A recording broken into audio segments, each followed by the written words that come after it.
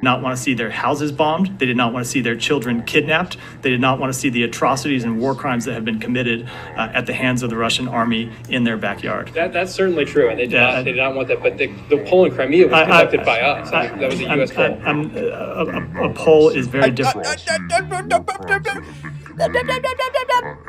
Yale didn't prepare me for this. But I I, didn't would think dare there was say that people the who people of the believed Donbass region did not want to see um, uh, an invasion of Russian troops. They did not want to see their houses bombed. They did not want to see their children kidnapped. They did not want to see the atrocities and war crimes that have been committed uh, at the hands of the Russian army in their backyard. That, that's certainly true, and they did, Yeah, not, I- they did not want that. But the, the poll in Crimea was I- I- conducted by us. That, that's certainly true, and they did, they did not want that. But the, That, that's certainly true. They did, they did not want that, but the, the poll in Crimea was conducted by us. The poll in Crimea was conducted by us. that, that's certainly true, and they did, they did not want that. But the, certainly true. That, that's certainly true. That, that's certainly true.